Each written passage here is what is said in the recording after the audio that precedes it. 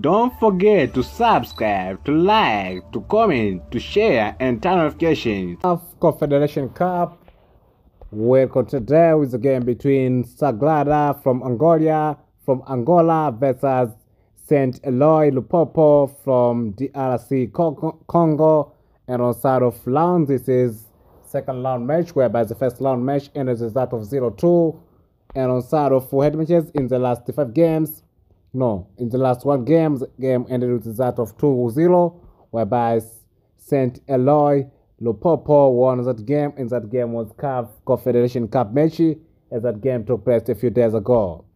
Last matches for Sagrada in the last game, Sagrada managed to draw in one game, losing four games. That's the worst performance from Sagrada, whereby there's one con- con- Confederation Cup matches. Also, there is four Angola Girabola matches. Last matches for Saint Eloi Lupopo in the last game. Saint Eloi Lupopo managed to win in four games.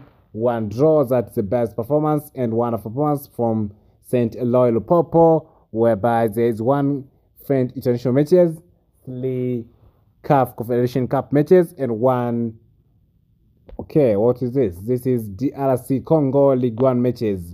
That is all. Thank you. Have a good day. Don't forget to turn notification for more upcoming news there here on Chal TV.